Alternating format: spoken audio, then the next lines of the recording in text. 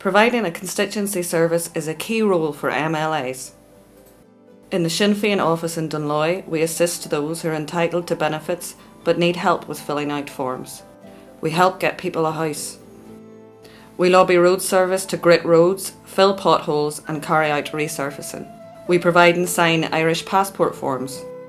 We meet, plan, and strategise how we can retain, campaign, and fight for vital services such as the Dalriada and Causeway hospitals how we will fight the sectarianism that still exists in Ballymena and Ballymoney councils.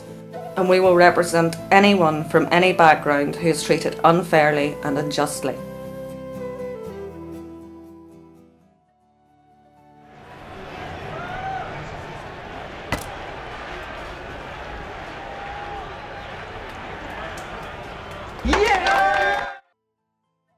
Ah, get away from me this instant. Shoo, shoo. What's going on back there, Jim? The natives of the estate overrun, Ted. I don't think I can take any more of this. This wasn't part of the plan for a parliament free of Catholics, Republicans, Irish speakers, Gaelic footballers, hurlers. Ah, there's no need to knock the hurlers now. I'm looking forward to enjoying the crack at this year's Poc Fada. You're easy bought, Ted. Don't knock it till you've tried it, Jim. You're just jealous, as you haven't a hurling trophy named after you. Bah! You're nothing but a Lundy, Ted. Forgotten Ulster. Up the dubs, Jim. Up the dubs. Over the past four years at the Assembly, I have represented North Antrim and constituents on a variety of issues. I secured debates in the Chamber on local interests, such as lignite mining and the failure of two social development ministers to implement the Dunclug Action Plan. I held numerous meetings with ministers, including one with Conor Murphy on the need for traffic calming measures in Glenravel, which we helped to secure. In 2007, Daithí McKay used Assembly privilege to unveil the links between the DUP and a private developer who wanted to build a visitor centre at the Giant's Causeway, and this eventually led to Ian Paisley Jr. resigning as a minister. As the outgoing chair of the Assembly's Finance and Personnel Committee, Daithí knows only too well the economic challenges that lie ahead. At the committee, he has pressed the banks to change their current lending practices to ensure that businesses do not go to the wall unnecessarily and that the construction sector is given an opportunity to grow so that workers can remain working closer to home. As a party, Sinn Féin were the first to outline an alternative to accepting £4 billion of British government cuts.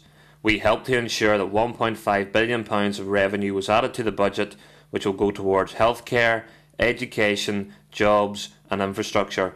We will continue to fight against these cuts through initiative and hard work soundbite economics from other parties would have resulted in the public having to face the full impact of these cuts. Sinn Féin recognises the contribution Gaelic games and culture makes to society. I have been working along with the chair of the Culture, Arts and Leisure Committee, Barry McElduff, to have Gaelic games and culture included in the local tourism strategy. And of huge importance to me and to Sinn Féin has been promoting Gaelic games and Irish culture and making sure that government invests uh, properly in Gaelic games, infrastructure, and uh, Irish culture. Thankfully, uh, we've got the project now over the line, i.e., £61 million for the refurbishment of Casement Park, Antrim's county ground, and that's a good thing. And uh, certainly, people like Martin McGuinness, as Deputy First Minister, and others have been centrally involved in holding government to account that that money should be spent in that particular way. This assembly is no longer a cold house for Irish culture where we regularly host successful Gaelic teams, Poc Fadas and Irish musical events. And every member of this club and every person involved in this particular team is a leader in their own right. They're a leader within their community.